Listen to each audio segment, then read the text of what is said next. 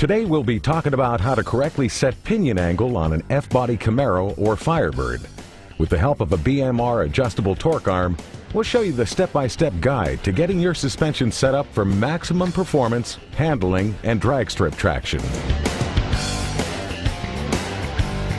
Hi, welcome back to the Power TV Garage. I'm Bobby Kimbrough, and today we're going to be installing a torque arm from BMR onto an F-body Camaro. This is important because the stock torque arms that come with the car are a stamped steel, very weak and flexible, and do more to dissipate the transmission of torque to the ground than actually transmitting the torque. BMR's torque arm is a very solid package. It's a rigid, tubular, all MIG welded with very heavy duty mounting plates. In addition, you have a low deflection polyurethane bushing in the front and it bolts directly into the factory mounting positions. It comes in two versions, an adjustable and a non-adjustable. The adjuster here will help us set our pinion angles. The non-adjustable is factory preset with a negative 2 degree pinion angle at factory ride height.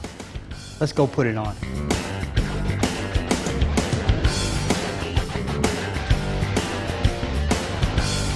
As you can see, our torque arm went in pretty smoothly, and it did bolt up right to the factory mounting locations. Now comes the key step and the important part, and this is going to be setting the pinion angle. Let me show you how to do this.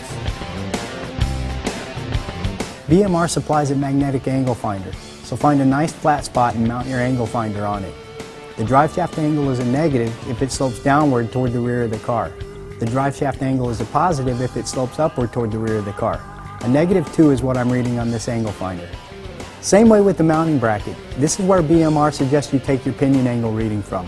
The rear end angle is a negative if it slopes downward towards the front of the car.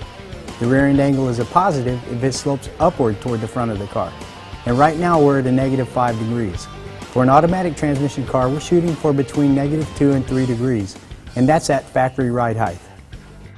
Now we're going to make our calculations for pinion angle based on the BMR suggested method, which is taking the rear end number, which is a negative 5, and adding it to the drive shaft angle, which is a negative 2, and that gives us a total of negative 7. We're shooting for a negative 2, so we're going to make a quick adjustment on the barrel nut. All right, job's complete and we're ready to take our Camaro off the rack and put it on the street. As you've seen, BMR puts together a really quality part. The installation was very easy, and I'm sure that following the instructions that BMR puts out, you'll be able to achieve the same results that we have. Now we're going to go and drive comfortably and confidently with our BMR fabricated torque arm.